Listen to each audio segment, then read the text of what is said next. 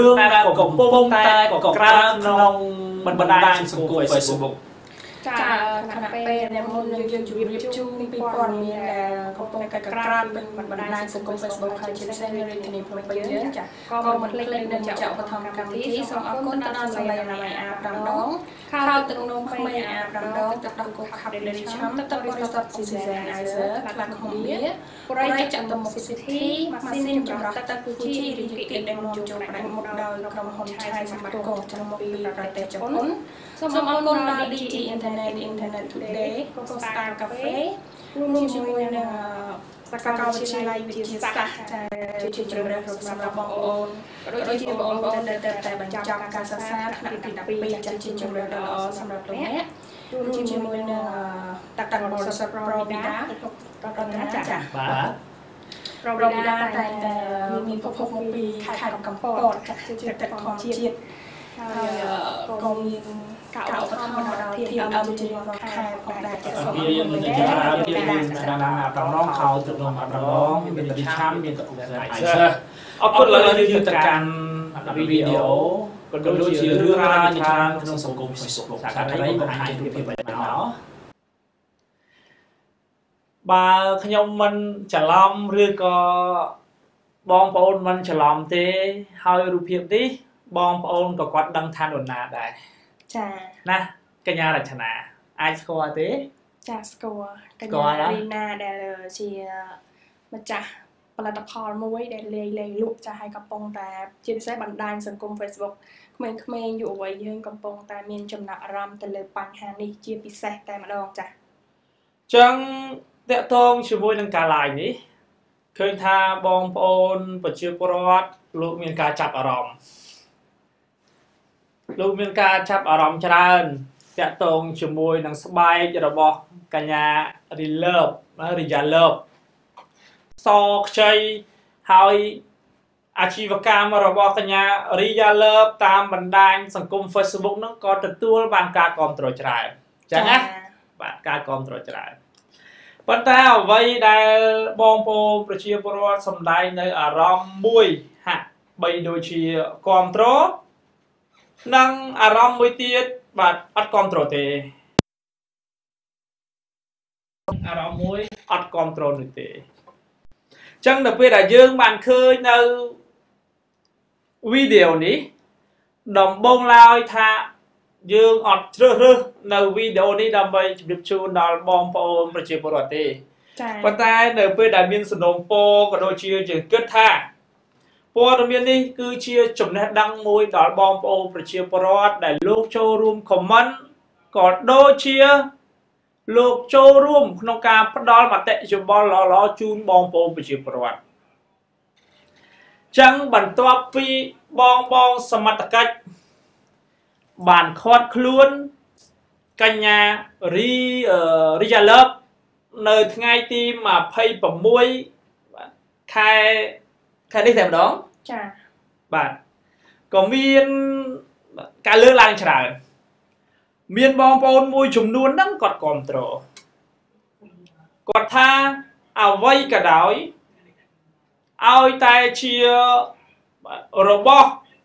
ដែលបង្កសុខភាពបង្កដល់បញ្ហាស្បែកលោកឲ្យគ្រប់គ្រងឲ្យមានចំណាត់ការអញ្ចឹងណាចាពីព្រោះថាពេលសពថ្ងៃនេះ នៅតាមเพจនីមួយនីមួយនៅតាម Facebook ផ្ទាល់ខ្លួន ជាពិសេសនារីនារីសសតែម្ដងគាត់អំពាវនាវលក់លេរបស់គាត់មិនដឹងថាជាលេមកពីណាទេពេលខ្លះក៏អ្នកប្រើទៅល្អពេលខ្លះអ្នកប្រើទៅក៏មានប្រតិកម្មស្បែកខ្លះទៅក៏មហារាជដើមមិនចឹងកញ្ញារចនាមានសម្លឹងឃើញចឹងទេ ចាប់ពិតប្រកាសណាស់ឃើញថាអ្នកលក់លេមានច្រើនមែនតើនៅរាជធានីភ្នំពេញយើងនេះផ្ទាល់តែម្ដងហើយក៏ដូចលោករតនាបានមានប្រសាសន៍អញ្ចឹងចាំមានផលិតផលមួយចំនួន គឺអត់ត្រូវទៅនឹងស្បែករបស់យុវនារីក៏ដូចជាបរិបរទេមានលេខមួយចំនួនក៏ត្រូវដែរប៉ុន្តែ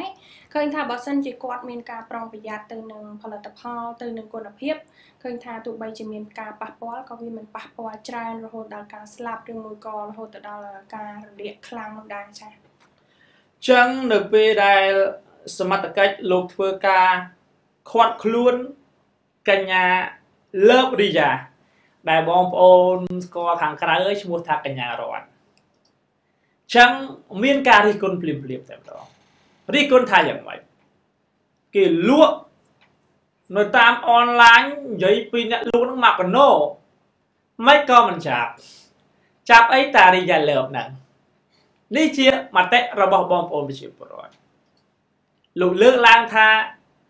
ការចាប់នេះហាក់បីដូចជាលឿនពេក នឹងអត់យុត្តិធម៌ទេសម្រាប់កញ្ញារីយ៉ាលើបបើចាប់ចាប់ទាំងអស់ទៅចាប់អីតគាត់អ្នកលក់មកកណោចាមិនចឹងណាកញ្ញារចនាបាទចឹងតកតងជាមួយនឹងបញ្ហានេះយើងឃើញថាបងប្អូនគាត់អត់ទាន់បានយល់យើងក៏អត់បន្ទោសបងប្អូនប្រជាពលរដ្ឋដែរពីព្រោះយើងអត់ទាន់បានដឹងថាអីជា license បងប្អូនណា អ្វីទៅជាកម្មសិទ្ធិបញ្ញាទេហើយអ្វីដែលដែលយើងបានធ្វើឬក៏បានលាយហ្នឹងយើងមិនដឹងថាមកពីណាមិនចឹងចា៎បាទមិនចឹងចឹងហើយបានជា TNM មកលើកយកព័ត៌មាននេះមកជម្រាបជូនបងប្អូនប្រជាពលរដ្ឋមិនមែនថា TNM នឹងកាន់ជើងទៅលើសមត្ថកិច្ចដែលលោកអនុវត្តច្បាប់មិនលំអៀង ឬក៏ TNM កាន់ជើងទៅលើបងប្អូន ប្រជាពលរដ្ឋដែលធ្វើការរិះគន់ទៅលើសមត្ថកិច្ចថាมันមានភាពអយុត្តិធម៌ទេទោះបីជាបងស្រីខាងលើបានបាទពិតជាបានលាយនៅលេខខុសច្បាប់មែនដោយមិនបានចុះបញ្ជីក៏ដូចជាមិនបានចុះម៉ាក់នៅក្រសួងដែលយើងអាចនិយាយបានថាលេខអក្សរច្បាប់ ប៉ុន្តែហាក់បីដូចជាមិនធ្ងន់ធ្ងរនោះទេរហូតដល់ឃុំខ្លួនឬក៏រហូតដល់មានរឿងរ៉ាវណាមួយដែលមិនអាចទទួលយកបានមិនចឹងណាកញ្ញារចនាបាទអញ្ចឹងសម្រាប់ពាក្យថា license មួយម៉ាត់ពាក្យថា license មួយម៉ាត់បងប្អូន ប្រជាពលរដ្ឋលោកគួរតែគ្រប់គ្រងដល់សមត្ថកិច្ចប៉ុន្តែ សូមឲ្យតែបងបងសមត្ថកិច្ចលោកបាទផ្សព្វផ្សាយឲ្យទូលំទូលាយជូនបងប្អូនប្រជាពលរដ្ឋសិនមកមិនចឹងចា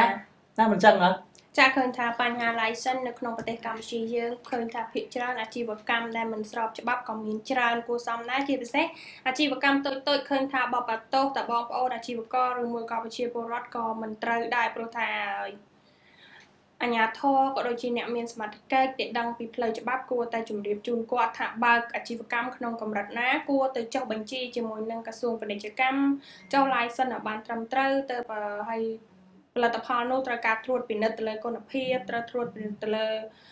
លទ្ធផលផ្សេងផ្សេងប៉ុន្តែភាគច្រើនទៅតាមនាងខ្ញុំដឹងអាជ្ញាធរគឺមិនបានជម្រាបជូនដល់អាជីវករឬមួយក៏អតិជនទេហើយមួយទៀត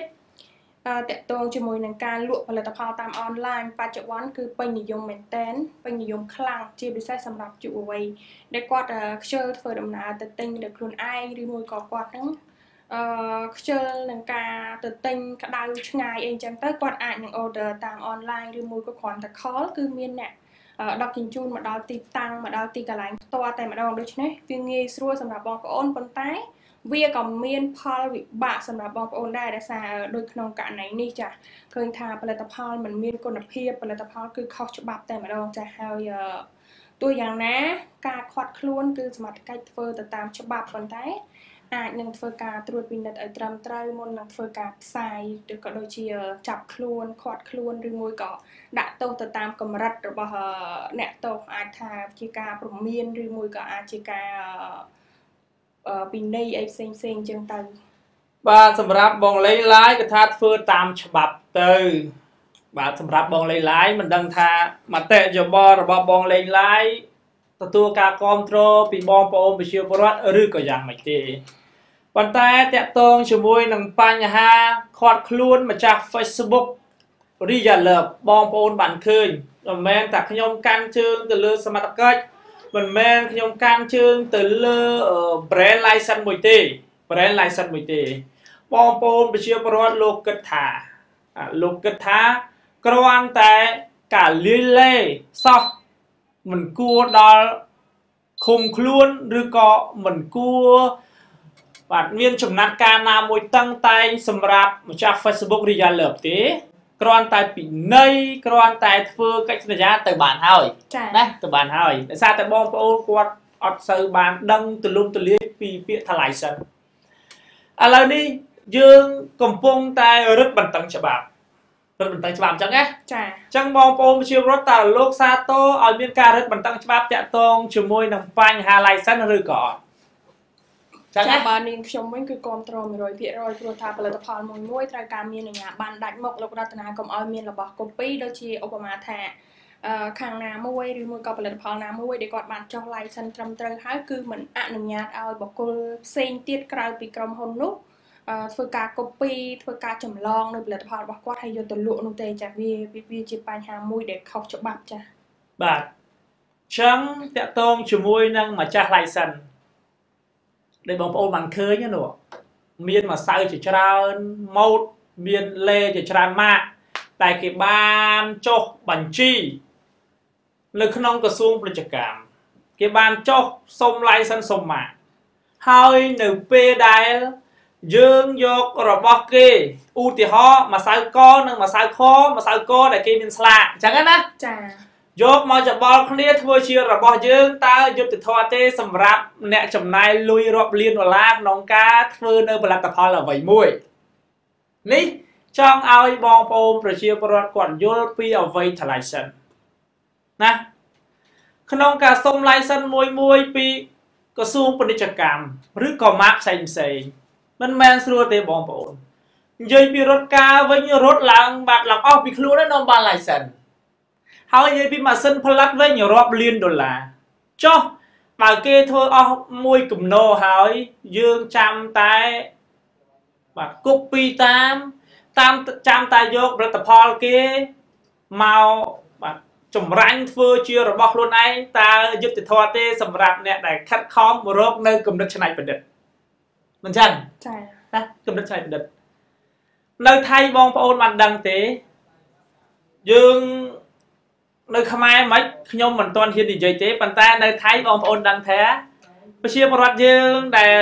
គាត់ខុសនឹងច្បាប់តាក់ទងនឹង license នៅក្នុងប្រទេសថៃត្រូវបានចាប់ដាក់ពន្ធនាគារណាចាប់ដាក់ពន្ធនាគារអញ្ចឹងតាក់ទងជាមួយនឹងបញ្ហានេះយើងអត់បន្ទោសទេអញ្ចឹងណាចាយើងអត់បន្ទោសទៅកាន់បងប្អូនប្រជាពលរដ្ឋទេដោយសារតែអត់តន់ទលំទលាយគួរតែគ្រាន់តែគួរតែផ្សព្វផ្សាយឲ្យបងប្អូនគាត់យល់ ថាធ្វើអញ្ចេះខុស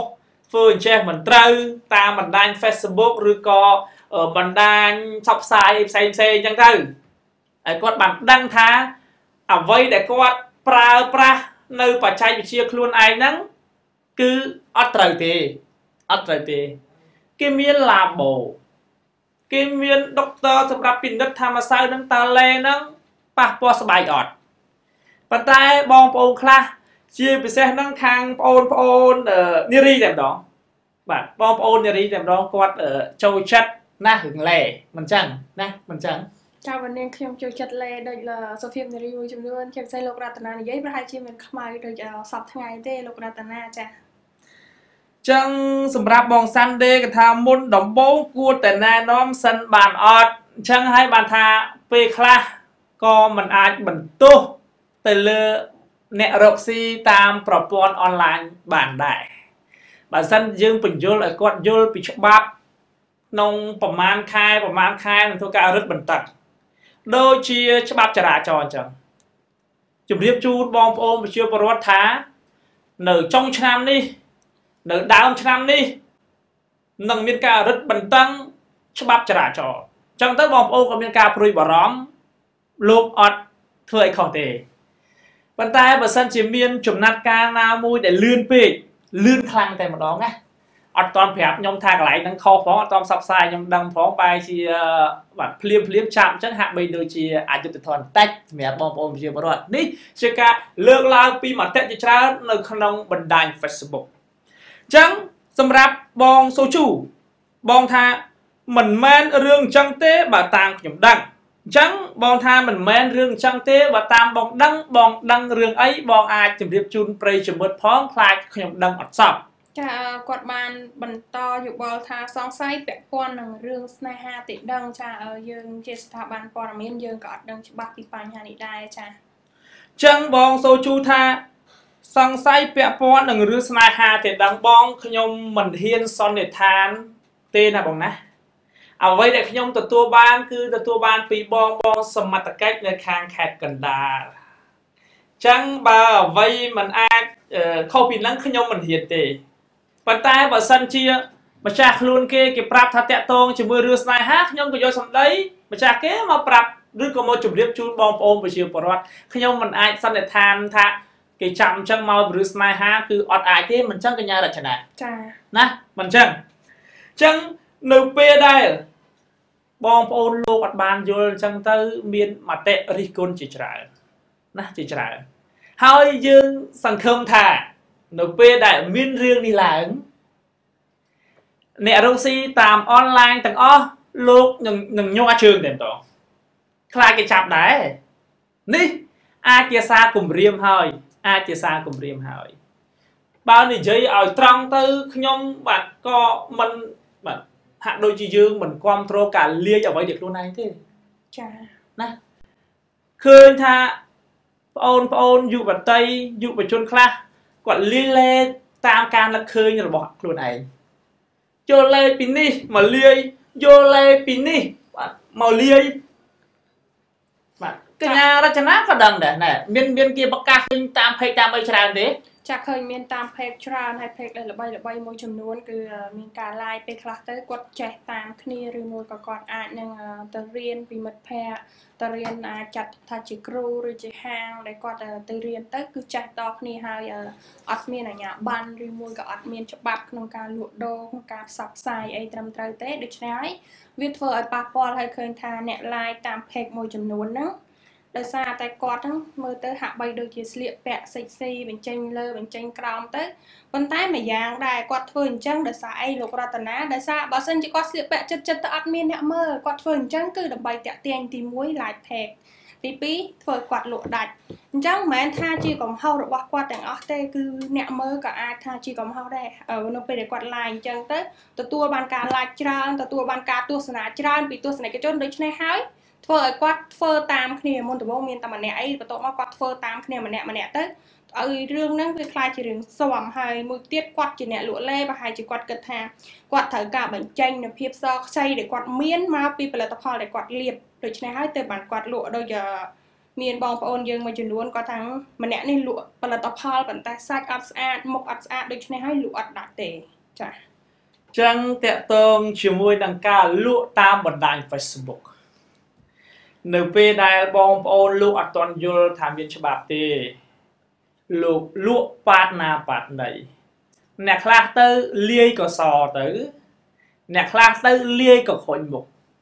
អញ្ចឹងនៅពេលដែលការរកស៊ីតាមបណ្ដាញអនឡាញស្រួលស្រួលយ៉ាងម៉េចបញ្ហាទី1អត់ត្រូវការទីតាំងណាមួយទេមិនចឹងណា បើយើងបើកទីតាំងណាមួយត្រូវសុំច្បាប់ពីក្រសួងត្រូវសុំច្បាប់ពីអាជ្ញាធរដែនដីប៉ុន្តែបើលក់តាម Facebook អត់មានសុំច្បាប់នរណាទេអត់មានទើសនរណាទេគ្រាន់តែភ្ញៀវ order កំងត្រើងយកទៅឲ្យប្រិចផ្ញើតាមតាស៊ីរួចអញ្ចឹងណាចាអញ្ចឹងនៅពេលដែលឃើញភាពងាយស្រួលអញ្ចឹងណានៅពេលដែលឃើញភាពងាយស្រួលថាมันបាច់សុំច្បាប់ពីអាជ្ញាធរมันបាច់ចុះ license មកអីទេបងប្អូន មួយចំនួនដែលគាត់មានហាងមានអីហ្នឹងគាត់ចាប់ផ្ដើមបង្កើត page លក់ដែរនៅពេលដែលលក់កាន់តែច្រើនលក់កាន់តែច្រើនធ្វើឲ្យទីផ្សារកាន់តែចង្អៀតអញ្ចឹងឃើញថាបុគ្គលមួយចំនួនលោករកនឹកថាតើខ្ញុំគួរតែលក់លេរបៀបណាឲ្យមានការចាប់អារម្មណ៍ពីអតិថិជនបើសិនជាយើងគ្រាន់តែយកលេទៅបង្ហាញអតិថិជនប្រហែលជាគាត់មិនជឿទេអញ្ចឹង មានបងបងខ្លះគាត់ប្រើសាច់សខ្ចីរបស់គាត់រៀងលិចលើលិចក្រោមតិចមើលដើម្បីបង្ហាញប្រិយមិត្តឲ្យដឹងថាសាច់របស់គាត់សដោយសារតលេរបស់គាត់បើចង់កំងរបស់គាត់អាចមកចែចែចែចែចែចែចែអញ្ចឹងណាចាបាទអញ្ចឹងទង្វើនេះកំពុងបាទធ្វើឲ្យបាទមតិមួយចំនួនលោកសរសើរថាឆ្លាតចេះរោគនៅល្បិច ក្នុងការរកស៊ីផ្ដួលទៅលើដៃគូរបស់គាត់មកខាងទៀតប៉ុន្តែមតិមួយចំនួនថាហាក់បីដូចជាលើសសិលធម៌បន្តិចលើសសិលធម៌ចាឃើញថាករណីនេះមិត្តភ័ក្តិរបស់នាងខ្ញុំគឺជួបដោយផ្ទាល់តែម្ដងគាត់បានផ្ញើសារត្រឡប់មកនាងខ្ញុំថាគាត់ត្រូវបានចាញ់បោកគេដោយសារតែអ្នកលក់ផលិតផលគាត់បានវេលុយតាមវិញមកឲ្យអ្នកលក់ផលិតផលហើយឃើញថាក្រោយពីការវេលុយហើយគឺតេលេងលើក account ផ្ញើ account Facebook ផ្ញើសារទៅហើយគឺមិនមើលមិនមានការឆ្លើយតបដូច្នេះការលក់ផលិតផលអនឡាញក៏មាននៅករណីឆក់បោកមួយចំនួន ចូលទៅក្នុងនឹងដែរចា៎អរគុណបងប៊ុនធឿនព្រៃវែងដែលបងបានខមមិនថាតើតែយកមកពីខាង VN ទើបមិនខុសអញ្ចឹងបងហាក់បីដូចជាខុសប្រធានបទនៅពេលដែលយើងកំពុងតែច្រៀងបទឯណាទៅឋានសួគ៌ បងម៉ែទីនិយាយបទអីណាក្បែរអូនអារម្មណ៍នឹកគេណាផ្សេងទៅខុសពីប្រធានបទដែលយើងកំពុងតែបដោតចឹងយើងផ្ដោតរឿងណាមួយបងឲ្យចំរឿងហ្នឹងមតិយោបល់ពីរឿងហ្នឹងកុំយើងនិយាយរឿងកបងទៅលើរឿងខតែខ្ញុំអាចលើក comment របស់បងជូនដល់បងប្អូនប្រជាពលរដ្ឋបានដែរឬទេមតិមួយចំនួនគឺល្អជាពិសេសហ្នឹងកញ្ញាមីនីតែម្ដង ស្នើសុំតែម្ដងទៅឲ្យបញ្ឈប់ការលីលេដែលខ្លួនឯងខុសបច្ចេកទេសលក់លេសាប់ស្រាប់ដែលគេបាក់លាចេញពីរោងចក្រទៅបានហើយចឹងនេះគឺជាមតិរបស់មីមីចឹងដល់ពេលដែលខ្ញុំឃើញប្អូនស្រីមីមីឬក៏បងស្រីមីមីល្អអញ្ចឹងខ្ញុំជម្រាបជូនបងប្អូនប្រជាពលរដ្ឋថាការលីលេខ្លួនឯងវាធ្វើឲ្យប៉ះពាល់ច្រើនបើល្អទៅមិនអីទេចុះ បើមិនល្អទៅយ៉ាងម៉េចនៅពេលដែលមានអ្នកគ្រោះថ្នាក់ឬក៏មានអ្នកបាត់បង់ជីវិតដោយសារតែលេលាយរបស់អ្នកមួយចំនួន ដែលគិតថាជាឆ្នាំងបាយរបស់ខ្លួននោះច្បាស់ណាស់អ្នកដែលបងប្អូនទម្លាក់កំហុសមុនគេមិនមែនអ្នកលីឡេនឹងទេ អ្នកដែលបងប្អូនទម្លាក់កំហុសមុនគេគឺបងបងសមត្ថកិច្ចមិនមានវិធានការណាមួយឲ្យទាន់ពេលវេលាមុននឹងរឿងនឹងកើតឡើងបងប្អូនមានចាំទេ មានចាំទេថា នៅពេលដែលជនជាតិកូរ៉េម្នាក់បានបាត់បង់ជីវិតចុះ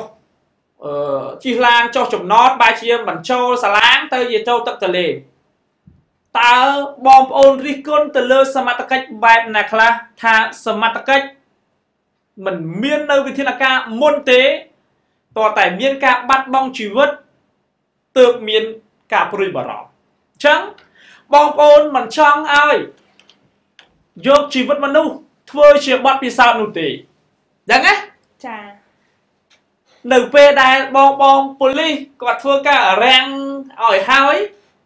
រៀបរៀងខ្ទប់ឲ្យហើយកុំឲ្យមានអ្នករបួសកុំឲ្យអ្នកបាត់បាត់បង់ជីវិតដោយសារតែលេលាយ មានការរិះគន់ទៅលើបងបងសមត្ថកិច្ចបាទសមត្ថកិច្ចអញ្ចឹងយើងចូលរួមទាំងអស់គ្នាធានអំមិនផ្កាប់មុខទៅលើខាងណាមួយទេបងបើសិនជាបន្លែយកមកពីប្រទេសវៀតណាមមានគីមីយើងនឹងផ្សាយព័ត៌មាននោះជូនបងប្អូនប្រជាពលរដ្ឋដោយមិនរបៀបគីមីតាគីមីខុសច្បាប់តាខុសច្បាប់ប៉ុន្តែនៅពេលដែលផ្នែកនេះបងបងប៉ូលីស គាត់ខិតខំការពារទុកជាមុននៅអ្វីដែលបាទជាហានិភ័យសម្រាប់សុខភាពរបស់បងប្អូនប្រជាពលរដ្ឋយើងអត់ទទួលយកយ៉ាងម៉េចវិញមិនចឹងកញ្ញារចនាចាឃើញថាប្រជាពលរដ្ឋមួយចំនួនយើងមិនអាចផ្គប់ចិត្តពួកគាត់ទាំងអស់ទេលោករតនា15លានអ្នកជាងនៅក្នុងប្រទេសកម្ពុជាយើងទាំងមូលដូច្នេះហើយក៏មានប្រជាពលរដ្ឋក៏ដូចជាអឺ ពលរដ្ឋយើងមួយចំនួនមានការគ្រប់គ្រងទៅលើពលរដ្ឋទៅលើគ្នាឯងដែលធ្វើអាជីវកម្មដែលធ្វើមុខរបរខុសច្បាប់ឬមួយក៏អាចថាជាការចិញ្ចឹមជីវិតដោយមុខរបរខុសច្បាប់មុខរបរអីមួយចំនួនដែលគ្មាន license ដូចកញ្ញារីយ៉ាអញ្ចឹងហើយក៏មានបងប្អូនមួយចំនួនដែលធ្វើការគ្រប់គ្រងទៅលើសមត្ថកិច្ចដែលធ្វើចំណាត់ការបានភ្លាមភ្លាមទៅលើបញ្ហានេះប៉ុន្តែ បងប្អូនប្រជាពលរដ្ឋក៏មានសំណូមពរថាឲ្យសមត្ថកិច្ចធ្វើការឆែកនិងត្រួតពិនិត្យរាល់អ្នកលក់តាមបណ្ដាញអនឡាញទាំងអស់មិនមែនតែម្នាក់ឃើញថាមិនមែនថាអ្នកលក់លាយលែលក់ខ្លួនឯងទាំងអស់សុទ្ធតែខុសច្បាប់ទេប៉ុន្តែសូមឲ្យធ្វើការត្រួតពិនិត្យទៅលើគុណភាព ជាពិសេស page ដែលល្បីល្បីមួយចំនួនដែលកំពុងធ្វើការ live លក់តាមអនឡាញយ៉ាងកក្រើកពេញ Facebook នេះសូមឲ្យសមត្ថកិច្ចមានចំណាត់ការក៏ដូចជាធ្វើការត្រួតពិនិត្យទៅលើគុណភាពទៅលើផលិតផលផ្សេងផ្សេងកុំឲ្យថាអឺចង្អៀតចង្អល់ណាចាប់តែកញ្ញារីយ៉ាឬមួយក៏អាចថាធ្វើចំណាត់ការតែកញ្ញាម្នាក់ដូច្នេះប្រជាពលរដ្ឋមួយចំនួនអាចនឹងគិតថាសមត្ថកិច្ចលំអៀងប៉ុន្តែ យើងជាការស្នើសុំទេឲ្យពីប្រជាពលរដ្ឋមួយចំនួនក៏ដូចគ្នាចាស់ស្នើឲ្យមានការត្រួតពិនិត្យគ្រប់ផលិតផលចាស់គ្រប់ brand គ្រប់ទីតាំងចាស់អរគុណអានិចគាត់ថាត្រូវឲ្យបងគាត់មិនធ្វើតាមច្បាប់តែគ្រាន់តែអប់រំបានហើយមិនដល់ថ្នាក់ដាក់គុកទេបងអញ្ចឹងហើយបានជាធានអំលើកឡើងតាំងពីដើមណាអានិចអូនណាថាហាក់បីដូចជាភ្លាមភ្លាមសម្រាប់អ្នកដែលរកស៊ីតាមប្រព័ន្ធអនឡាញ បើបញ្យលគាត់ប្រាប់គាត់ចេញជាសារាចរចេញជាសក្តីជូនដំណឹងទៅហើយចាំធ្វើអញ្ចឹងហាក់បីដូចជាមិនទាន់ហូបពេលប៉ុន្តែការចាប់បែបនេះហាក់បីដូចជាលឿនពេកសម្រាប់គាត់ណាលឿនពេកសម្រាប់គាត់មិនចឹងចាបាទចឹងយើងក៏មិនទៅទូមនិញឬក៏ទូមនោះអីជាមួយសមត្ថកិច្ចដែរប៉ុន្តែគ្រាន់តែសាទរអ្វីដែលគាត់បានធ្វើដើម្បីការពារបងប្អូនប្រជាពលរដ្ឋបងប្អូនមួយចំនួនគាត់ថាដូចជា ជេយ៉ាគាត់ថាគាត់ខុសអីបាទគាត់ខុសអីនេះគាត់ជាការរំពឹងទុករបស់ប្រជាពលរដ្ឋទេណាអត់មានសិទ្ធដាក់ពន្ធនាគារគាត់ទេគ្រាន់តែថាឬក៏ការធ្វើរបស់គាត់នឹងមានកម្រិតស្រាលប៉ុន្តែបើសិនជាអ្នកប្រើប្រាស់របស់របរដែលគាត់លាយនេះដែលគាត់លាយចែបងប្អូនបានឃើញផលិតផលរបស់ brand របស់គេទេបងប្អូនឃើញទេបាទគេចាញ់ម៉ាកចាញ់ brand មកគឺគេបានទទួលស្គាល់ដោយក្រសួងគេយកមកលក់ដើម្បីផ្សព្វផ្សាយនៅ brand របស់គេប៉ុន្តែយើងយក brand របស់គេចាក់ចោលគ្នាដើម្បីខ្លាចជា brand របស់យើងហើយដាក់ឈ្មោះរបស់យើងក្រុមហ៊ុនរបស់យើងតើយុទ្ធធម៌ទេសម្រាប់គេហើយបើសិនជាអ្នកដែលប្រើរបស់យើងគេមានបញ្ហាដល់អាយុជីវិតគេមានបញ្ហាដល់ស្បែកយើងអាចនឹងមានទោស នៅកញ្ញារចនាចាបាទគិតដល់ចំណុចនឹងផងគិតដល់ចំណុចនឹងផងកុំគិតថាវាជាឆ្នាំងបាយដឹងហើយថាដោយសារតែពាក្យឆ្នាំងបាយមួយម៉ាត់ទៅធ្វើឲ្យបងប្អូនប្រជាពលរដ្ឋមួយចំនួនលោកអត់សូវគិតណាលោកអត់សូវគិតទេឲ្យតែរកខ្លួនឯងបានហើយដល់ពេលដែលសមត្ថកិច្ចឬក៏បងបងអាធរលោកធ្វើការពង្រឹង ស្រែកអយោយតឹងខ្លាំងណាស់ដល់ពេលគេមិនរឹតមើលច្បាប់ណោបាទហាក់បីដូចជាមិនមានតម្លាភាពយ៉ាងម៉េចទៅដល់ពេលអញ្ចឹងកញ្ញារចនា ចាឃើញថាมันអាចផ្គាប់ចិត្តបងប្អូនគ្រប់គ្នាបានទេពី TNM ក៏ធ្វើការផ្សាយគ្រាន់តែជាការជម្រាបជូនដំណឹងទៅបងប្អូន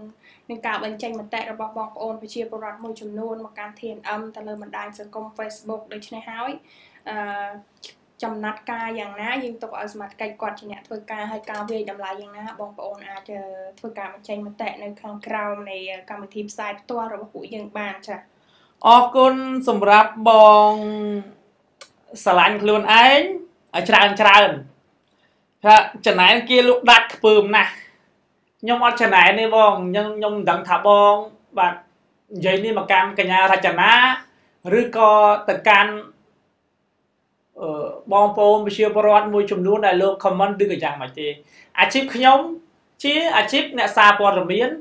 ផ្ដល់អ្វីជាចំណេះដឹងទទួលអ្វីដែលជាដែរជាការខ្វះខាតធ្វើជាទឹកកន្លះកែវរហូត ចឹងខ្ញុំជាអ្នកសារព័ត៌មានខ្ញុំមិនមែនលាក់លក់លែទោះបីជាបងស្រីហ្នឹងគាត់លក់មានដល់500ចិត្តជីលក់រហូតដល់មានផ្ទះវិឡាក៏ខ្ញុំអត់ឈឺចាប់អីដែរបងណាខ្ញុំសប្បាយឲ្យតែបងប្អូនប្រជាពលរដ្ឋលោករកបានចានៅពេលដែលឃើញបងប្អូនប្រជាពលរដ្ឋលោកទឹកភ្នែកយើងដីធ្លីខ្ញុំពិបាកចិត្តណាស់អញ្ចឹងខ្ញុំអត់ចំណែនទេប៉ុន្តែអ្នកដែលចំណែនជាមួយនឹងគាត់គឺម្ចាស់ license ទាំងអស់ដែលគេចំណាយលុយរាប់លានដុល្លារដើម្បីទៅទិញ brand ហើយគាត់យក brand របស់គេមកធ្វើជា brand របស់ខ្លួនឯងអាហ្នឹងជារឿងមួយណាជារឿងមួយលាលែដោយមិនមានការបញ្ជាក់ឬក៏មិនមានអឺនៅការអឺស្អីហៅយើងអាចហៅថាឡាបូណាមួយណាបងប្អូនប្រជាពលរដ្ឋក៏ដូចជាអ្នកល្បីល្បីក្នុងសង្គម Facebook ក៏គេបញ្ចេញនៅមតិមួយចំនួន លើកឡើងថា ការធ្វើអញ្ចឹងការលីលេដែលខ្លួនឯងអញ្ចឹងគឺខុសហើយប៉ុន្តែมันដល់ថ្នាក់បាទដាក់ពន្ធនាគារនោះទេនេះជាការបញ្ចេញមតិរបស់បងប្អូនប្រជាពលរដ្ឋក៏ដូចជាអ្នកល្បីល្បីមួយចំនួននៅក្នុងសង្គម Facebook ដែរមិនចឹងណាអញ្ចឹងមិនចឹងកញ្ញា រចនាចាតែទោះជាយ៉ាងណាឃើញថាមានការដោះលែងកញ្ញារិយាវិញហើយចាក្រោយពីមានការពិចារណាទៅលើទោសកំហុសរបស់ខាងសមត្ថកិច្ចចាចឹងបងថាខ្ញុំចំណែនគេបងចឹងសម្រាប់បងបងគ្រប់គ្រងអ្វីដែលជាអំពើខុសច្បាប់ឬក៏យ៉ាងម៉េចពីព្រោះបងបងក្នុងសង្គម Facebook លោកលើកឡើងថាទង្វើនេះខុសច្បាប់ ប៉ុន្តែគួរតែធ្វើការអប់រំណែនាំចុះកិច្ចសន្យាណាបាទมันគួរដល់ថ្នាក់ដាក់ពន្ធនាគារគាត់ទេចឹងបងគ្រប់គ្រងការលក់លែរបស់គាត់លាយប៉ាតណាប៉ាតណីដោយមិនមានវិជ្ជាបញ្ជាឬក៏មិនមានឡាបោបងគ្រប់គ្រងឬក៏យ៉ាងម៉េចបងថាចំណែនណាដល់ពេលគេធ្វើអញ្ចឹងបានលុយអញ្ចឹងចុះបាទគេធ្វើអំពើខុសច្បាប់មួយចំនួនក៏មិនថាបាទលើកឡើងទៀតហើយ អរគុណសម្រាប់បាទបងស្អប់ភាពក្របាទបាទអើមិនដឹងថាបងសេពីអីទេបាទអរគុណដែលបងប្រើពាក្យមួយដែលនិយាយថាហែងអញ្ចឹងមនុស្សម្នាក់ណាបងណាគ្រាន់តែស្ដាប់ពាក្យសម្ដី គេដឹងដល់ចរិតគ្រាន់តែស្ដាប់ពាក្យសម្ដីដឹងដល់វិជាតគ្រាន់តែស្ដាប់ពាក្យសម្ដី គេដឹងដល់សារជាតិ ចឹងខ្ញុំមិនបាច់អានបងថាអេបងថាឯងមកពីណាអីណាមិនបាច់ទេគ្រាន់តែខ្ញុំមើលតែពាក្យតបងប៉ុណ្ណេះហាគឺបាទអត់ចង់មើលតែម្ដងបាទដលិចបងចេញពីកម្មវិធីរបស់យើងតែម្ដងបើសិនជាបងរីគុណត្រង់ចំណុចណារីគុណខ្ញុំត្រង់ចំណុចណាកន្លែងណាណាបាទបងនិយាយមកតាប្អូននៅចំណុចណែចំណុចចេះចំណុចចេះ បាទមិនគួរធ្វើអញ្ចេះទេមិនគួរអញ្ចេះនេះទើបហៅថាអ្នករិះគន់ដើម្បីស្ថាបនាប៉ុន្តែបងរិះគន់របៀបបងនេះមិនហៅថាស្ថាបនាទេបងអើយគេហៅថាជន់ពលិចវិញទេណាជន់ពលិចវិញទេអញ្ចឹងឬក៏នៅពេលដែលខ្ញុំយកព័ត៌មានពីគេដែលបានធ្វើហើយយកព័ត៌មានពីបុគ្គលម្នាក់ដែលបានប្រព្រឹត្តរឿងអ្វីមួយហើយ យកមកនិយាយតើខ្ញុំខុសឬក៏យ៉ាងណា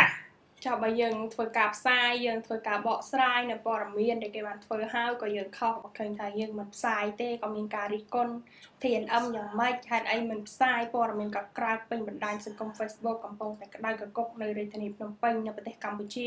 ហេតុអីមិនផ្សាយ យើងជាស្ថាប័នសារព័ត៌មានជាអាជ្ញាប័ណ្ណកណ្ដាលធ្វើការផ្សាយជម្រាបជូនព័ត៌មានដែលកើតឡើងនៅរាជធានីភ្នំពេញដែលកើតឡើងនៅប្រទេសកម្ពុជាយើង នៅហេតុការណ៍ដែលកំពុងតែកក្រើកក្នុងបណ្ដាញសង្គមក្នុងជាអ្វីដែលប្រជាពលរដ្ឋចង់ដឹងតើពួកយើងខុសឬក៏យ៉ាងណាយើងគ្រាន់តែធ្វើការជម្រាបជូនឲ្យប្រជាពលរដ្ឋដឹងថាអាញាប័ណ្ណលាយលេឬមួយក៏អាញាប័ណ្ណឬមួយក៏ព័ត៌មានមួយណាយ៉ាងម៉េចយ៉ាងម៉េចកើតឡើងស្ថានភាពយ៉ាងណាហើយ មានការរិះគន់ឬមួយក៏អាចថាជាចំណុចខ្សោយឬមួយក៏ជាចំណុចខ្វះខាតរបស់ពួកយើងពួកយើងរីករាយនឹងទទួលការរិះគន់ដើម្បីស្ថាបនាធានអមចាស់អរគុណសម្រាប់កញ្ញាស្បៃតឿនេះបានគេហៅថាអ្នករិះគន់ដើម្បីស្ថាបនាកញ្ញាស្បៃតឿបងរុនបងដាន់គេថាខ្ញុំលៀបលេគាត់គ្មានកើតអីផងអញ្ចឹងកញ្ញាស្បៃតឿធ្លាប់ទិញលេរបស់គាត់ហ្នឹងណាអ្នកធ្លាប់ប្រើលេរបស់គាត់នឹងឃើញ ណាបង្រុនថាបើចាប់ចាប់ទាំងអស់ទៅលាយលេលក់តាមអនឡាញមកកគោកចឹងសម្រាប់បងម្នាក់ធ្វើថាកូនត្រេនគាត់បានខមមិនថាក៏បានខមមិនថាការលៀបលេដោយគ្មានច្បាប់គឺខុសហើយ តែមិនដល់ថ្នាក់ជាប់ពន្ធនាគារទេគួរតែអប់រំពាក្យរបស់គាត់តាមពិតខ្ញុំនិយាយតាំងពីដើមបាទតាំងពីដើមថា ការខកខ្លួនរបស់គាត់ហាក់បីដូចជាលឿនពេក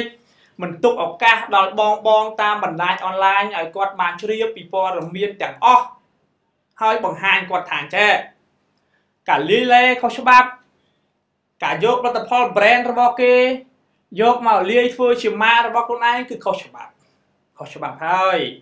អញ្ចឹងខ្ញុំបានជម្រាបជូនបើសិនជាមានការផ្សព្វផ្សាយទូលំទូលាយបងប្អូននៅតែប្រព្រឹត្តទៀតអញ្ចឹងយើងនឹងមានវិធានការណាមួយណា មិនចឹងអាចថាការត្រួតពិនិត្យពិនិត្យទៅលើស្តុកផលិតផលរបស់កញ្ញារីយ៉ាលើបអាចចាត់ទុកថាជាចំណុចការទី1នៃការចាប់ផ្ដើមនៃការត្រួតពិនិត្យនៅផលិតផលលេឬមួយក៏ផលិតផលស្បែកហើយសង្ឃឹមថាអាញាធរនឹងធ្វើការចំណាត់ការទៅលើ brand ផ្សេងផ្សេងផលិតផលផ្សេងផ្សេងទៀតទាំងប្រទេសកម្ពុជាតែម្ដងចាដើម្បីសុខភាពរបស់បងប្អូនប្រជាពលរដ្ឋយើងតែម្ដង មិនសំដៅចំពោះតែសម្រាប់ផលិតផលស្បែកឬក៏ផលិតផលថែរក្សាសម្រស់ទេចាសសូមសំណូមពរទៅដល់ចំណីអាហារនិងផលិតផលផ្សេងផ្សេងដែលធ្វើការនាំចូលក៏ដូចជាធ្វើការលក់នៅក្នុងប្រទេសកម្ពុជាផ្ទាល់តែម្ដងចា៎បងអាខ្ញុំលើកឡើងចង់កន្លះម៉ោងហើយ បងនៅតែមិនអាចយល់នៅតែមិនអាចស្ដាប់បានឬក៏យ៉ាងណាណាបាទ ខ្ញុំបានលើកឡើងតាក់ទងជាមួយនឹងមតិរបស់បងប្អូនប្រជាពលរដ្ឋថាដោយសារតែការចាប់លឿនពេកមិនបានផ្សព្វផ្សាយឲ្យបងប្អូនប្រជាពលរដ្ឋឲ្យបានទូលំទូលាយតាក់ទងជាមួយនឹងច្បាប់ license ការលាបឡេបង្ហាញឲ្យគាត់ដឹងសិនមកចាំចាប់គាត់អត់ទាន់ហួសពេលទេប៉ុន្តែដល់ពេលចាប់អញ្ចឹងហាក់បីដូចជាលឿនសម្រាប់គាត់ពេកណា នៅតែមានបងប្អូនប្រជាពលរដ្ឋមួយចំនួនហ្នឹងលោកខមមិនថាមិនសមដាក់គុកគាត់ទេធ្វើអញ្ចឹងមិនដាក់គុកមិនដាក់គុកគាត់ធ្វើអីធ្វើអញ្ចឹងណាហាក់បីដូចជាលឿនពេកណែបាទខ្ញុំបានបាទជម្រាបជូនបងប្អូនពីដើមហើយខ្ញុំបាទមិនគ្រប់គ្រងសមត្ថកិច្ចហើយខ្ញុំក៏មិនគ្រប់គ្រងបងស្រីលើប្រយ៉ាដែរទាំងពីរហ្នឹងខ្ញុំអត់គ្រប់គ្រងទេបងណា ខ្ញុំគ្រាន់តែនាំព័ត៌មានពិតជូនបងប្អូនប្រជាពលរដ្ឋឬក៏អញ្ចឹងជេរខ្ញុំដែរឬក៏យ៉ាងណាណែខ្ញុំដល់ពេលអញ្ចឹងខ្ញុំអង្គុយឆ្ងល់ដែរ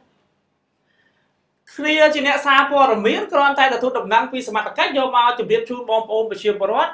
បងប្អូនអង្គគ្នាអត់សុបាយចិត្តនឹងខ្ញុំឬក៏យ៉ាងណាបើសិនជាខ្ញុំជាមួយនឹងកញ្ញារចនាបង្កើតរឿងនឹងខ្លួនឯងយកមកនិយាយខ្លួនឯង ចឹងទៅថាខុស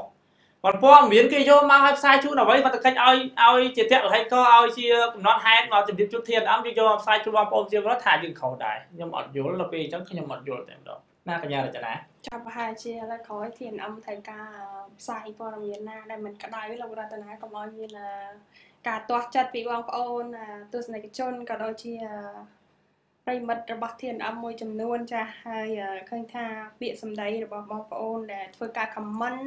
នៅក្នុងការ live ផ្ទាល់របស់ page TNM ផ្ទាល់តែម្ដងឃើញថាបងប្អូនមួយចំនួនក៏មានមតិល្អល្អដើម្បីរិះគន់ដើម្បីជាការស្ថាបនាដល់ TNM ដើម្បីកែប្រែនៅស្ថានភាពក៏ដូចជាដើម្បីធ្វើជាដំណោះស្រាយក្នុងការដោះស្រាយបញ្ហាមួយមួយប៉ុន្តែ ក៏មានបងប្អូនមួយចំនួនក៏ដូចជាប្រជាពលរដ្ឋយើងមួយចំនួនធ្វើការ comment មកដោយគ្មានសុជីវធម៌ខ្វះសិលធម៌អីផ្សេងផ្សេងបងអាច comment បានព្រោះវាជាសិទ្ធិរបស់បងក្នុងការ comment យើងមិនអាចបិទនៅការ comment របស់បងប្អូនបានប៉ុន្តែឃើញថាបើសិនជាយើងបញ្ចេញមតិជាសាធារណៈគួរតែប្រើពាក្យសម្ដីដែលសំរុំកុំឲ្យគេគិតថាយើងជាមនុស្សបែបណាហេតុអីប្រើពាក្យបែបនោះព្រោះយើងជាមនុស្សដូចគ្នាចា៎ អរគុណបងសារុនទឹកខ្ញុំថាមិនចង់លើកឡើងខុសប្រធានបទទេប៉ុន្តែប្រិយមិត្តគាត់លើកឡើងខុសប្រធានបទច្រើនពេកអញ្ចឹងខ្ញុំសូមឆ្លើយបន្តិចចោះបងសារុនទឹកប្រហែលជាបងប្រុសទើបតែស្គាល់ឬក៏ទើបតែទស្សនា TNM លើកនេះឬក៏យ៉ាងម៉េចទេខ្ញុំមិនដឹងដែរប៉ុន្តែបងណាតកតងនឹងសាច់ជ្រូក សាច់គោសាច់មាន់បន្លែដែលខូចគុណភាព ខាងកម្មគនត្រូលលោកអត់បានពិនិត្យយកមកឲ្យបងប្អូនប្រជាពលរដ្ឋលោកពិសាសុខភាពគាត់មិនអាចត្រួតត្រងអ្វីដែលជាការនាំចូលនឹងបានទេណាសុខភាពរបស់គាត់មិនអនុគ្រោះបានទេលុយនៅក្នុងហោប៉ៅរបស់គាត់មិនអនុគ្រោះទេខ្ញុំនិយាយបាទចង់បែកកឡតែនហើយតាក់តងនឹងបាទចំណីអាហារគីមី ចឹងបើសិនជាបងបាទជាជាអ្នកនិយមតាមដានទស្សនា TNM វិញបានដឹងថា TNM បាននិយាយរឿងអីខ្លះបងខ្ញុំនិយាយច្រើនណាស់មុនខ្ញុំលើកឡើងនៅរឿងនេះខ្ញុំដឹងថានឹងមានមតិរិះគន់នៅពេលដែលណាអឺមានការខាត់ខ្លួនកញ្ញាលើបរិយាបងប្អូនប្រជាពលរដ្ឋនឹងលើកឡើងពីករណីបន្លែ សាច់ជ្រូកសាច់មាន់ខុសច្បាប់គីមីមិនក៏មិនចាប់ផងចាប់តាកញ្ញារីលើបអញ្ចឹងណាចាប៉ុន្តែខ្ញុំចង់ឲ្យបងប្អូនចូលរួមទាំងអស់គ្នាតាក់ទងនឹងប្រធានបទដែលយើងកំពុងតែជជែកយើងកំពុងតែជជែកខ្ញុំក៏ចង់ឲ្យសមត្ថកិច្ចក៏ចង់ឲ្យអាជ្ញាធរផ្សព្វផ្សាយជូនបងប្អូនប្រជាពលរដ្ឋតាក់ទងជាមួយនឹងเพจមួយចំនួនផង នេះបងថាគ្រាន់តែលក់តាមអនឡាញអញ្ចឹងចាប់ធ្វើអីគេលក់មកប្រទេសមិនថាអញ្ចឹងបងចង់ឲ្យមានរបៀបហ្នឹងឬក៏យ៉ាងម៉េចការលាយលើលាយលែលក់តែខ្លួនឯងដោយមិនមានការពិនិត្យបងចង់ឲ្យអញ្ចឹងឬក៏យ៉ាងម៉េចចឹងបងប្អូនប្រជាពលរដ្ឋគាត់តែងតែលើកឡើងមកថាតាក់តងទៅនឹងចំណុចអាហារហេតុអីក៏អត់ពិនិត្យចឹងនៅពេលដែល គេពិនិត្យហើយយើងគួរតែរិះគន់ឬក៏គួរតែសាទរសាទរទៅបងប៉ុន្តែសូមឲ្យផ្សព្វផ្សាយឲ្យឲ្យបានបានទលំទលាយហ្មងណានេះខ្ញុំមិនទាន់លើកឡើងតាក់ទងនឹងเพจមួយចំនួនប្រើរូបភាពអាភិក្នុងការរកលុយផងណាចាធម្មតាហើយពេលដែលយើងនិយាយទៅលើអ្វីដែលជាផលប៉ះពាល់ដល់ឆ្នាំងបាយរបស់គាត់ខ្ញុំក៏យល់ដែរ ឆ្នាំងបាយរបស់គាត់លាយឡេឆ្នាំងបាយរបស់គាត់បង្កើតផេកបង្ហាញរូបអាហារភាពដើម្បីទទួលបានឡាយច្រើនលក់ផេករបស់គាត់ខ្ញុំក៏យល់ដែរប៉ុន្តែឆ្នាំងបាយរបស់គាត់ធ្វើឲ្យប៉ះពាល់ដល់សុខភាពរបស់អ្នកដទៃតើយើងគួរតែគិតយ៉ាងម៉េចវិញកញ្ញារចនា ចាគួរតែធ្វើការផ្លាស់ប្ដូរក៏ដូចជាធ្វើការកែតម្រូវហើយឃើញថាសមត្ថកិច្ចក៏គួរតែធ្វើការពន្យល់ថាកុំធ្វើអញ្ចឹងជាពិសេសបើបើពាក់ព័ន្ធជាមួយនឹងអឺ ផលិតផលការពារស្បែកផលិតផលថែរក្សាសម្រស់គួរតែក្រសួងសុខាភិបាលក៏ដូចជាអ្នកដែលមានចំណាត់ការទៅលើបញ្ហានេះគួរតែចោះធ្វើការណែនាំថាកុំប្រើសារធាតុមួយណាសារធាតុមួយណាដែលធ្វើឲ្យប៉ះពាល់ដល់សុខភាពស្បែកដែលធ្វើឲ្យប៉ះពាល់ដល់សម្រស់ឬមួយក៏អាចនឹងធ្វើឲ្យផលមានផលប៉ះពាល់ច្រើនទៅថ្ងៃអនាគតប៉ះពាល់ឧបមាថាមានថ្នាំថែរក្សាសម្រស់មួយចំនួនអាចនឹងប៉ះពាល់ដល់ទារកក្នុងកឬមួយក៏ អាចនឹងប៉ះពាល់ដល់សុខភាពដែលមានជំងឺផ្សេងផ្សេងដែលអាចពាក់ព័ន្ធចា៎ដូច្នេះហើយអាជ្ញាធរក៏ដូចជាអ្នកមានសមត្ថកិច្ចសូមបញ្ជាក់ថាគួរតែធ្វើចំណាត់ការក៏ដូចជាធ្វើការណែនាំទៅដល់ពួកគាត់បណ្ដុះបណ្ដាលពួកគាត់ថាកុំប្រើនៅផលិតផលបែបនេះដែលធ្វើឲ្យប៉ះពាល់ដល់សុខភាពកុំប្រើផលិតផលមួយណាជាមួយនឹងផលិតផលមួយណាដែលអាចធ្វើឲ្យមានប្រតិកម្មរវាងគ្នានឹងគ្នាហើយ យើងក៏គ្រប់គ្រងនៅការចោះដើម្បីត្រួតពិនិត្យ check នៅបញ្ហាទាំងអស់នេះលោករតនាអរគុណសម្រាប់បងលេងពៅបាទនិយាយជាមួយបងលេងពៅបានឆាប់ត្រូវបាទមួយថ្ងៃហើយទៅឃើញខមមិនបងលេងពៅបាទទៅទំយល់អារម្មណ៍គ្នា បងលេងពៅថាបើសិនអឺបាទបាទបងលេងពៅមិញបាទមិញតិចសុំអូមិនមែនទេបងសរុនបាទគេចង់និយាយថាសមត្ថកិច្ចបាទ គឺធ្វើជ្រុលពេកគ្មានការយោគយល់ទេបាទអញ្ចឹងបងបងបញ្ជាក់អញ្ចឹងមកទើបខ្ញុំយល់ខ្ញុំគិតថាបងប្អូនជាប្រុសលោកថាឲ្យកញ្ញារចនាដល់ពេលខ្ញុំគិតថាបងប្អូនជាប្រុសលោកថារចនាខ្ញុំបារម្ភដែរគាត់ទៅយកព័ត៌មានមកនិយាយបាទប្រាប់ប្រហែលដងហើយថាណាតាក់ទងនឹងបញ្ហានេះតាក់ទងនឹងបញ្ហានោះចេះចោះឥឡូវខ្ញុំជម្រាបព័ត៌មានទៀតថាសង្ឃឹមថាបងប្អូនអត់រីកគុណទេឥឡូវនេះ បន្ទាប់ពីមានការរិះគន់ពីបងប្អូនប្រជាពលរដ្ឋថ្ងៃទី26បាទខកខ្លួន27ស៊ើបសួរ27ស៊ើបសួរ28ចេញដីកាមក28 28ចេញដីកាដាក់ពន្ធនាគារជាបណ្ដោះអាសន្នចឹងដំបងបងប្អូនគាត់មាន50%គាត់គ្រប់គ្រងគ្រប់គ្រងអ្នកលក់ឡេ មាន50%ទៀតគ្រប់គ្រងនៅសមត្ថកិច្ចដែលពង្រឹងច្បាប់ប៉ុន្តែនៅពេលថ្ងៃទី28បាទមានដីកាឬក៏មានសេចក្តីប្រកាសតាក់ទងជាមួយនឹង Real Love ថាត្រូវជាប់ពន្ធនាគារជាបណ្ដោះអាសន្នបុគ្គលល្បីល្បីបងប្អូនប្រជាពលរដ្ឋស្ទើរតែ80ទៅ90%បាត់ទៅហើយលោកធ្វើការរិះគន់ណែលោកធ្វើការរិះគន់ណាអញ្ចឹងនៅថ្ងៃនេះតែម្ដង ថ្ងៃទី29នេះតែម្ដង លោកសាយសំភ័សសេរីចៅក្រមស៊ើបសួរនៃសាលាដំបងខេត្តកណ្ដាលបានសម្រេចឲ្យឈ្មោះឆេងស្រីរតហើយលើកវិយាអាយុ32ឆ្នាំ ទីលំនៅ បច្ចុប្បន្នភូមិព្រែកតាពៅមួយសង្កាត់ដើមមានក្រុងតាខ្មៅខេត្តកណ្ដាលស្ថិតនៅក្រៅឃុំជាបណ្ដោះអាសន្នតែត្រូវឲ្យឈ្មោះនេះចូលទៅបង្ហាញខ្លួននៅចំពោះមុខតុលាការដរាបណាមានដីកាកោះហៅបាទ ដីកាកោះហៅអញ្ចឹងមកដល់ថ្ងៃទី29នេះកញ្ញាលើព្រិយាខាងខេត្តកណ្ដាលមានសេរីភាពវិញហើយដោះលែងជាបណ្ដោះអាសន្នបាទអញ្ចឹងមកជាធានអំតែងតែជម្រាបជូនបងប្អូនប្រជាពលរដ្ឋមតិក្នុងការខមមិនក្នុងកម្មវិធីរបស់យើងពិតជាមានឥទ្ធិពលណាស់ពេលណាដែលយើងឃើញថា ការអនុវត្តច្បាប់ណាមួយនៅមានចន្លោះប្រហោង ការអនុវត្តច្បាប់ណាមួយដោយមិនទាន់ផ្សព្វផ្សាយឲ្យប្រជាពលរដ្ឋលោកបានដឹងលំអិតនៅពេលដែលចាត់បង្ខំឲ្យលោកបាទអនុវត្តភ្លាមហាក់បីដូចជាណាបងប្អូនទទួលយកបានទេមិនចឹងកញ្ញារចនាចាប៉ុន្តែទោះបីជាយ៉ាងណាក៏ដោយទោះបីជាយ៉ាងណាក៏ដោយនេះអាចជាបទពិសោធន៍ ឬក៏អាចជាមេរៀនមួយចំនួន សម្រាប់បងបងដែលគាត់និយមលក់នៅ ផលិតផលណាមួយដែលបាទมันត្រូវច្បាប់នៅតាមប្រព័ន្ធអនឡាញតែម្ដងណាណាប្រព័ន្ធអនឡាញតែម្ដង